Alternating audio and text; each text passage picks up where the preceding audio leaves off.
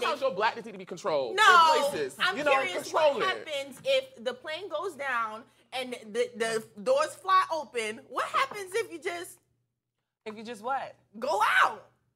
I mean, I'm not gonna lie. Let's be If the plane is going down, I feel like no one can save you. So I feel like that exit row thing is like BS. Amen. Or whatever. Yes. It is. However, I do feel like it was a little bit extreme to kick her off. I feel like they could have just traded her seat. Yeah, for However, I also feel like they could have just like, or she could have also just said yes. Yeah. But I don't think it was coulda. that. You Yeah. know. Everybody It was like coulda- petty versus pettier. Everybody Yeah. shoulda, coulda, Frontier woulda. is very petty. Like. Yeah. I feel like you got. I feel like to pass the training, you gotta show display a little pettiness. Who won in the end? who who won in the end? Frontier. Yeah.